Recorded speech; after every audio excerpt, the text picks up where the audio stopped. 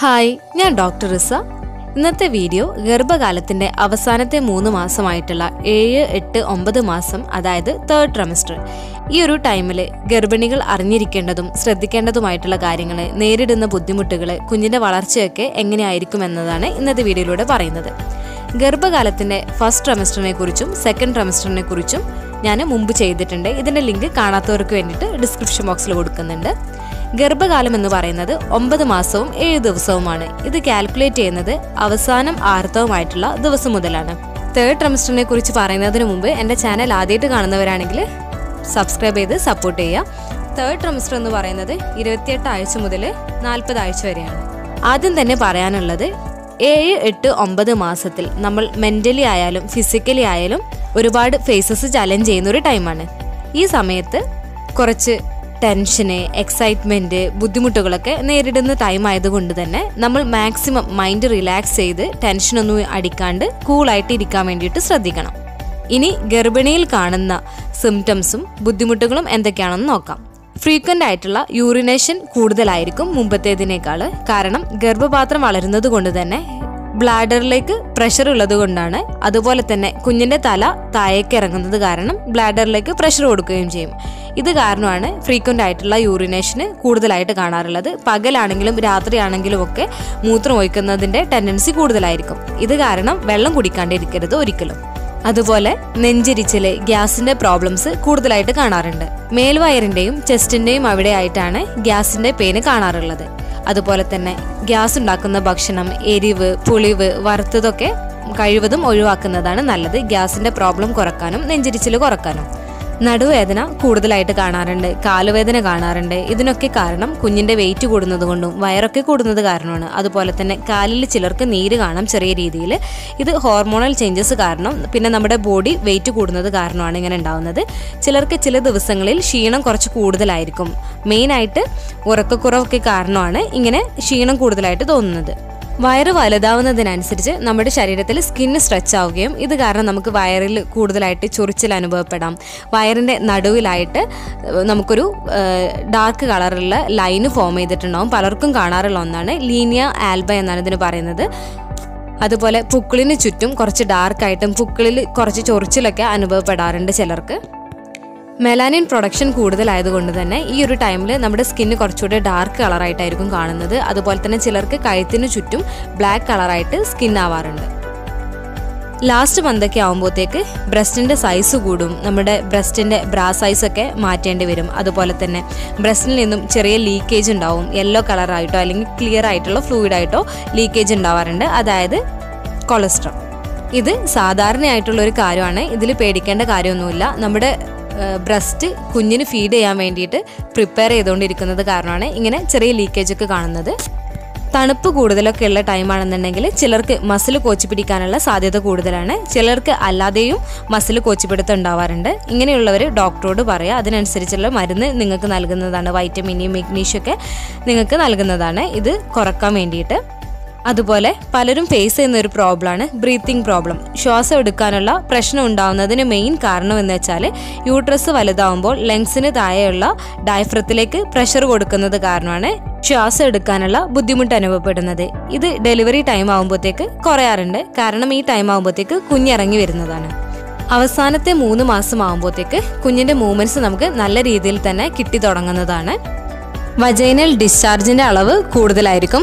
Delivery time ആകുമ്പോഴത്തേക്ക് vaginal discharge കുറച്ച് കട്ടി കൂടുതലായിട്ടായിരിക്കും പോകുന്നത്. അതുപോലെ തന്നെ നമ്മുടെ വെയിറ്റും ഈ ഒരു ടൈമിലൊക്കെ കൂടുന്നതാണ്. അവസാനത്തെ മൂന്ന് മാസങ്ങളിൽ കുഞ്ഞിന്റെ വളർച്ച എങ്ങനെയാണെന്ന് നോക്കാം. ഇരുപത്തെട്ട് ആഴ്ച മുതൽ നാൽപ്പത് ആഴ്ചയിൽ കുഞ്ഞിന്റെ ഡെവലപ്മെന്റ്സ് എല്ലാം തന്നെ കണ്ടിന്യൂ ചെയ്യുന്നുണ്ട്. ഗർഭകാലത്തിന്റെ അവസാനത്തെ മാസങ്ങളിലാണ് കുഞ്ഞ് പെട്ടെന്ന് വളരുന്നതും കുഞ്ഞിന്റെ വെയിറ്റ് പെട്ടെന്ന് പെട്ടെന്ന് കൂടുന്നതും. ഇരുപത്തെട്ട് ആഴ്ച ആകുമ്പോഴത്തേക്ക് കുഞ്ഞിന്റെ അടഞ്ഞിരിക്കുന്ന കണ്ണ് അടക്കാനും തുറക്കാനും പറ്റുന്നതാണ്. കുഞ്ഞിന് നല്ല രീതിയിൽ സൗണ്ടൊക്കെ കേൾക്കാൻ സാധിക്കുന്നതാണ്. കുഞ്ഞിനോട് ഈ ഒരു ടൈമിൽ സംസാരിക്കുന്നത് പാട്ടൊക്കെ കേൾക്കുന്നത് ബുക്സ് വായിച്ചു കൊടുക്കുന്നതൊക്കെ ഫിസിക്കലി മെന്റലി ഇമോഷണലി ഒക്കെ ഒരുപാട് ഹെൽപ്പ് ചെയ്യുന്ന ഒന്നാണ്.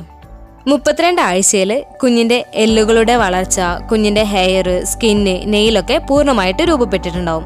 മുപ്പത്തേഴാമത്തെ ആഴ്ചയാകുമ്പോഴത്തേക്ക് കുഞ്ഞിന്റെ ഓർഗൻസ് എല്ലാം തന്നെ ഡെവലപ്പ് ആയിട്ടുണ്ട്. അതുപോലെ ശരീരത്തിലെ രോമ വളർച്ച കുറഞ്ഞിട്ടുണ്ടാവും. അമ്നോട്ടിക് ഫ്ലൂയിഡിന്റെ ലെവലും ഈ ഒരു ടൈമിൽ കുറവായിരിക്കും. ഇരുപത്തിയെട്ട് ആഴ്ചയ്ക്ക് ശേഷം കുഞ്ഞിന്റെ വെയിറ്റ് ഏകദേശം ഒരു കിലോഗ്രാമിന്റെ അടുത്താണ് ഉണ്ടാവാറുള്ളത്. മുപ്പത്തേഴ് ആഴ്ചയ്ക്ക് ശേഷമാണെന്നുണ്ടെങ്കിൽ രണ്ട് പോയിന്റ് അഞ്ച് മുതൽ മൂന്ന് പോയിന്റ് ഒമ്പത് കിലോഗ്രാം വരെയാണ് കുഞ്ഞിന്റെ വെയിറ്റ് ഉണ്ടാവുക. രണ്ട് പോയിന്റ് അഞ്ചിനേക്കാൾ കുറവാണ് എന്നുണ്ടെങ്കിൽ കുഞ്ഞ് അണ്ടർ വെയ്റ്റും നാലിനേക്കാൾ കൂടുതലാണെന്നുണ്ടെങ്കിൽ കുഞ്ഞ് ഓവർ വെയ്റ്റും ആയിരിക്കും ഉണ്ടാവുന്നത്. മുപ്പത്തിയേഴ് ആഴ്ചയ്ക്ക് ശേഷമാണ് ഡെലിവറി നടക്കുന്നതെങ്കിൽ ഫുൾ ടേം ആയിട്ടാണ് കണക്കാക്കുന്നത്. ഏഴ് മാസത്തിന്റെയും എട്ട് മാസത്തിന്റെയും ഉള്ളിലാണ് ഡെലിവറി നടക്കുന്നതെങ്കിൽ പ്രീ ടൈം ആയിട്ടാണ് കണക്കാക്കുന്നത്. ഈ ഒരു അവസാനത്തെ മൂന്ന് മാസങ്ങളിൽ ഡോക്ടറെ കാണേണ്ടത് എപ്പോഴാണെന്ന് പലർക്കുമുള്ളൊരു ഡൗട്ടായിരിക്കും ഏഴ് എട്ട് മാസങ്ങളിൽ ഡോക്ടറെ രണ്ടാഴ്ച കൂടുമ്പോഴാണ് കാണാറുള്ളത്. ഒമ്പതാം മാസം മുതൽ നമ്മുടെ ഡെലിവറി ഡേറ്റ് വരെ നമ്മൾ ഓരോ ആഴ്ചയിലുമാണ് ഡോക്ടറെ കാണാൻ വേണ്ടിയിട്ട് ഡോക്ടർ നിർദ്ദേശിക്കാറുള്ളത്.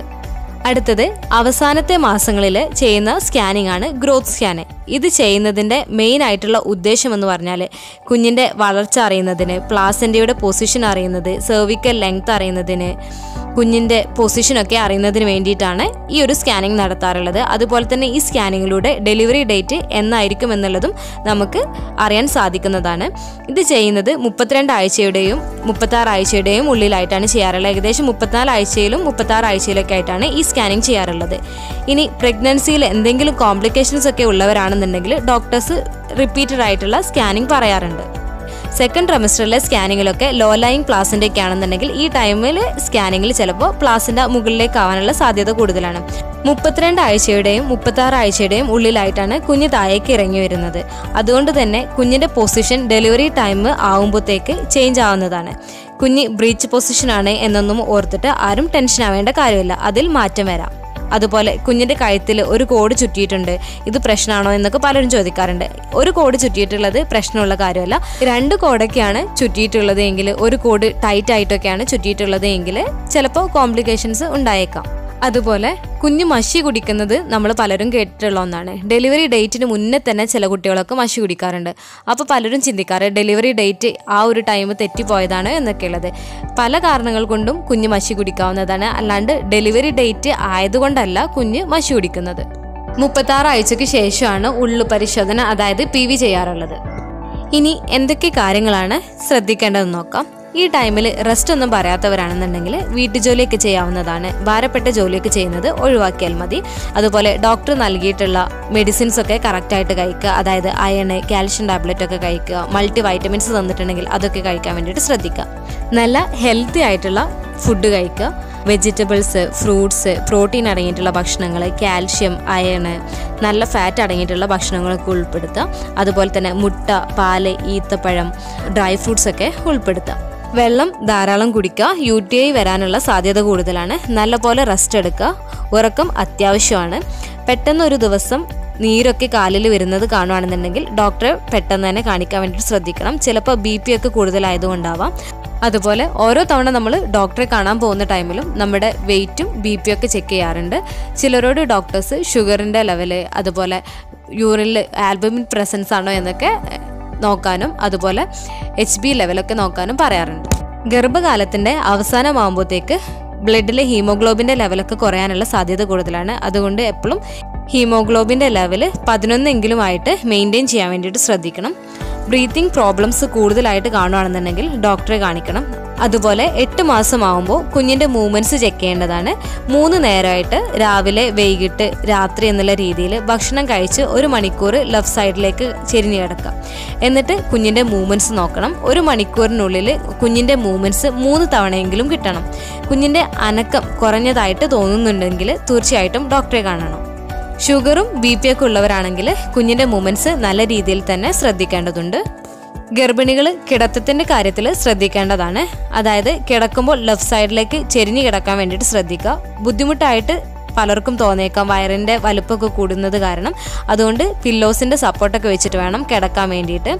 ലെഫ്റ്റ് സൈഡിലേക്ക് കിടക്കുമ്പോൾ വലിയ ബ്ലഡ് വെസൽസിലേക്കുള്ള രക്തയോട്ടം കൂടുന്നതാണ്. അത് നല്ലതുപോലെ നടക്കുന്നതാണ്. അതുകൊണ്ട് തന്നെ കുഞ്ഞിലേക്കുള്ള ഓക്സിജനും ന്യൂട്രീഷനും നല്ല രീതിയിൽ ലഭിക്കുന്നതാണ്. ഇത് ലെഫ്റ്റ് സൈഡിലേക്ക് കിടക്കുന്നതുകൊണ്ട് ഗ്യാസ് പ്രോബ്ലംസും കുറക്കാനും ദഹനം നല്ല രീതിയിൽ നടക്കാനും സഹായിക്കുന്നതാണ്. റെസ്റ്റ് ഒന്നും പറയാത്തവരാണെങ്കിൽ മൈൽഡ് ആയിട്ടുള്ള എക്സസൈസ് ഒക്കെ ചെയ്യാവുന്നതാണ് ഡോക്ടറോട് ചോദിച്ചതിന് ശേഷം. അതുപോലെ നടക്കുന്നത് നല്ലൊരു എക്സസൈസ് ആണ് നോർമൽ ഡെലിവറിക്ക് ഹെൽപ്പ് ചെയ്യുന്നതാണ്. ഇരുപത്തെട്ട് ആഴ്ചയ്ക്ക് ശേഷം കൺട്രാക്ഷൻസ് ചിലർക്കുണ്ടാവാറുണ്ട്. ഇത് ലേബർ പെയിൻ ആണോ എന്ന് പലരും തെറ്റിദ്ധരിക്കാറുണ്ട്. അതായത് ബ്രെക്സനിക്സ് കൺട്രാക്ഷന് ഈ പെയിന് റെസ്റ്റ് ചെയ്യുമ്പോഴോ അല്ലെങ്കിൽ കിടത്തത്തിന്റെ പൊസിഷനൊക്കെ മാറ്റുമ്പോൾ പോകുന്നതാണെങ്കിൽ പ്രശ്നമുള്ളതല്ല. എന്നാൽ അടിവയറിലും ബാക്കിലുമുള്ള വേദന കൂടിക്കൂടി വരികയാണെന്നുണ്ടെങ്കിൽ ഓരോ പതിനഞ്ച് മിനിറ്റിലും വരുന്നുണ്ട് എന്നുണ്ടെങ്കിലും വജേനിൽ നിന്ന് ബ്രൗൺ ഡിസ്ചാർജ് വരുന്നുണ്ടെങ്കിലും ഉടൻ തന്നെ ഡോക്ടറെ കാണിക്കണം. അതുപോലെ വെള്ളം പൊട്ടിപ്പോയാൽ ബ്ലീഡിംഗ് ഒക്കെ കണ്ടു കഴിഞ്ഞാൽ ഉടൻ തന്നെ ഡോക്ടറെ കാണിക്കണം വെച്ചുകൊണ്ടിരിക്കാണ്ട് ലാസ്റ്റ് മന്തൊക്കെ ആകുമ്പോഴത്തേക്ക് കുഞ്ഞിന് പേര് കണ്ടുപിടിക്കുന്നത് നല്ലതാണ്. അതുപോലെ മുപ്പത്തിനാല് ആഴ്ചയ്ക്ക് ശേഷം ഹോസ്പിറ്റൽ ബാഗ് നിർബന്ധമായിട്ടും തയ്യാറാക്കി വെക്കേണ്ടതാണ്. എപ്പോൾ ഏത് ടൈമിലാണ് പെട്ടെന്ന് ഹോസ്പിറ്റൽ പോയിന്റ് വരിക എന്നുള്ളത് നമുക്ക് പറയാൻ പറ്റുന്നതല്ല. അതുപോലെ പറഞ്ഞ ഡെലിവറി ഡേറ്റിൽ തന്നെ പ്രസവം നടക്കണമെന്നില്ല. ഡേറ്റ് കഴിഞ്ഞിട്ടോ അല്ലെങ്കിൽ മുന്നെയോ ആവാൻ സാധ്യതയുണ്ട്. ഡെലിവറി ടൈമിൽ ടെൻഷൻ അടിച്ചാൽ ബി പി ഒക്കെ കൂടിയിട്ട് സി സെക്ഷൻ ഒക്കെ ആവാനുള്ള സാധ്യത കൂടുതലാണ്. അതുകൊണ്ട് തന്നെ ഡെലിവറി നോർമൽ ആണെങ്കിലും സിസേറിയൻ ആണെങ്കിലും കോംപ്ലിക്കേഷൻസ് ഒന്നും ഇല്ലാണ്ട് നല്ല ഹെൽത്തി ആയിട്ടുള്ള ഒരു ബേബിനെ കിട്ടാൻ വേണ്ടിയിട്ട് നല്ലപോലെ പ്രാർത്ഥിക്കുക. ഒന്നിനെക്കുറിച്ചും ആലോചിച്ച് ടെൻഷൻ ആവാണ്ട് മൈൻഡ് റിലാക്സ് ആയിട്ടിരിക്കുക. ഈ വീഡിയോ നിങ്ങൾക്ക് യൂസ്ഫുൾ ആയിട്ടുണ്ടെങ്കിൽ ലൈക്ക് ചെയ്യുക കമന്റ് ചെയ്യുക അതുപോലെ മറ്റുള്ളവർക്കും കൂടെ ഷെയർ ചെയ്ത് കൊടുക്കുക. അടുത്തൊരു വീഡിയോയിൽ കാണുന്നതുവരെ ബൈ.